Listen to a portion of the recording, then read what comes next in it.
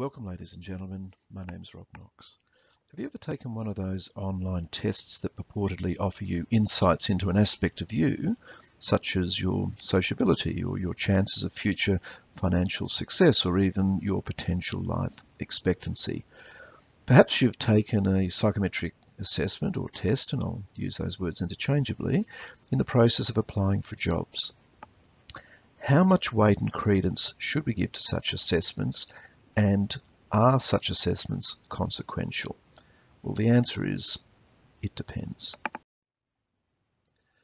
Over the next 10 to 10 minutes or so, I'd like to explore with you the world of psychometric assessments insofar as they're used in the workplace for identifying and developing leaders and for selecting desirable leadership attributes. It will become apparent shortly, but threaded through this exploration, I'd also like to consider one particular question. Are such assessments fit for purpose in a world where organisations are placing increasing emphasis on diversity and inclusion, not only for potential altruistic value, but also for competitive advantage? So what do eh, organisations even care about and how do we know? Well, there is something of an obsession by research-based institutions, and those include educational institutions, government agencies, not-for-profit uh, organisations and for-profit organisations, to regularly gather information from large corporates, this is the big end of town, in an effort to analyse and, and, understand trends and to develop insights. Perhaps a, a good place to, to gather this information is from supervisory boards and the, and the executive teams given their knowledge of and their visibility across the organisations they lead.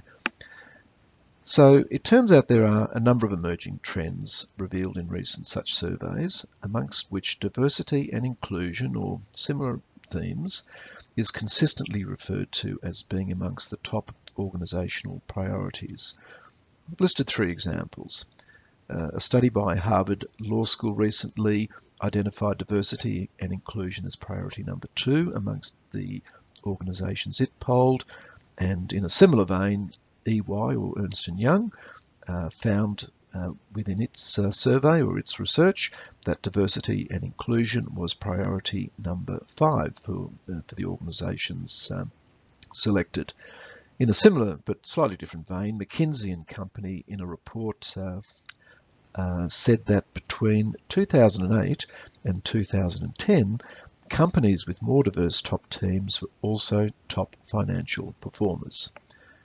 So, what is diversity and inclusion? Well, it encompasses attributes including gender, age, ethnicity, religious beliefs, and sexual identity.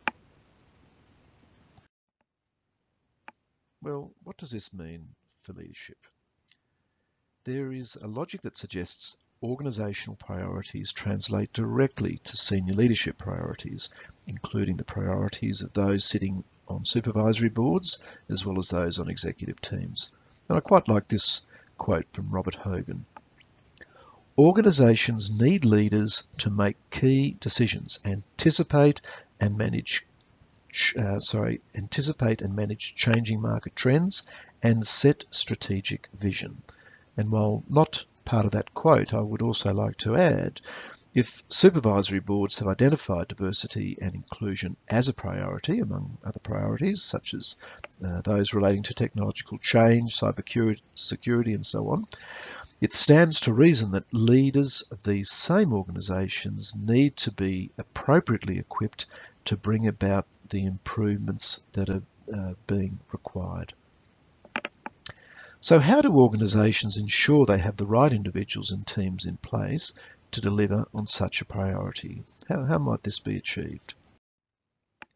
Let's turn our attention to psychometric testing. So while psychometric testing, that is assessing the attributes uh, such as knowledge, skills and personality, is a relatively recent human pursuit, it does have its origins dating back 2,000 years to ancient China and specifically in regard to the selection processes for the Chinese civil service. Notwithstanding these ancient origins, according to Kaplan, Hurt and Kutz in 1967, scientific approaches to psychometric testing actually dates to the latter part of the 19th century. it can be traced to individuals such as Galton and Binet, uh, from which new players emerged in the earlier part of the 20th century, including Yerkes, Woodworth, Rorschach and Cattell. If we then narrow our focus to psychometric testing in the workplace, well, there's a plethora of tests available in the marketplace, some of which are psychometrically sound, if I can use that expression, while others have not been subjected to sufficient scientific uh, scrutiny to support any claim they actually measure what they purportedly set out to measure. I've listed three examples.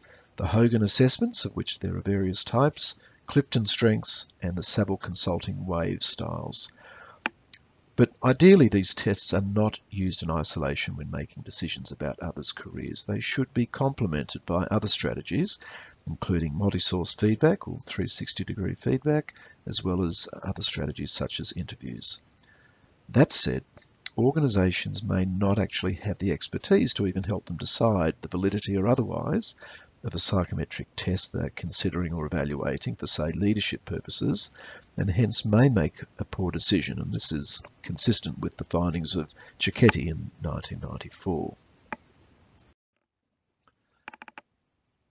Organisations may in fact fall prey to pseudoscientific psychometric tests, if such an oxymoron exists, that lack the necessary robustness to support confidence in making workforce decisions such as those uh, determining who will be selected for leadership, op leadership opportunities, who might be included or excluded from a leadership program, who might be in the frame for a promotion into a leader leadership position in a, uh, in a, in a more immediate sense.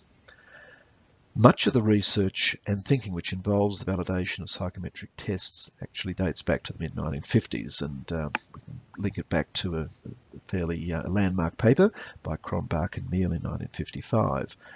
And listed here are some important considerations um, when evaluating the relative technical, uh, particularly around construct validity, and practical benefits of selecting one psychometric uh, strategy over another.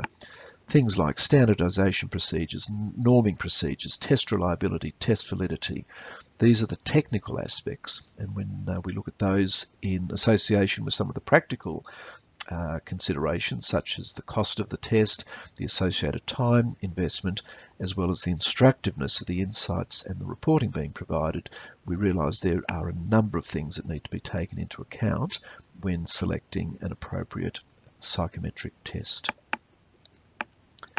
As an important side note, um, constructing, sorry, establishing construct validity, for example, might involve doing so against the norms of other well-established constructs such as the Big Five personalities traits or the Great Eight competencies as popularized by Saville Holdsworth.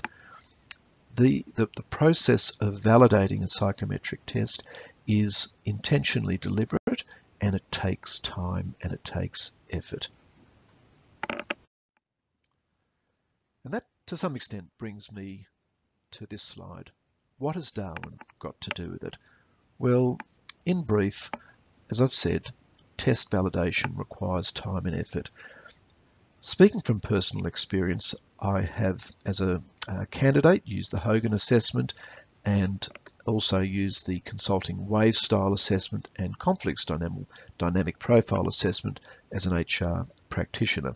The reports generated in these assessments as a result of an ind individual undertaking uh, one of these highly evolved psychometric tests are often detailed, but they're also very insightful. They, in all likely, however, are very relevant in regard to assessing uh, those leadership attributes that we might think of, think about as being stable and enduring. Yet the question in my mind is this: might there be some hidden talent more suited to contemporary and future leadership requirements that remain hidden because of the high value we place on the existing assessments and our um, perhaps our biases uh, towards wanting to use these particular assessments. And so that brings me to the last slide. The points out, outlined here may well form the basis of future research and act as a construct for decision makers to pause and ask their own question, what is it that we want of our leaders and how will we select for this desirable outcome? So, in summary, I think we've established that supervisory boards place importance on effective leadership, and in fact, that's probably a given. Um, we've come to a view that um, that the supervisory boards and those leading organisations are increasingly recognising that diversity and inclusion as being associated with desirable organisation well-being and performance outcomes. So this is an emerging trend, one that's, uh, I suppose, continually being reinforced and established through some of the um, surveying that's done by uh, research firms and research organisations. Organisations themselves use psychometric testing as one means of assessing and selecting potential leaders. Uh, however, uh, as I pointed out in the last slide, um, many of these psychometric tests have been in the market for a long time, in some cases decades, and the question is, um, do they adequately test for future leaders, which just I guess is reinforced by that last bullet point, have commonly applied psychometric, uh, psychometric tests sufficiently adapted to help select for leadership styles that will in fact enhance diversity and inclusion outcomes into the future. And with that, ladies and gentlemen, I'd like to thank you very much.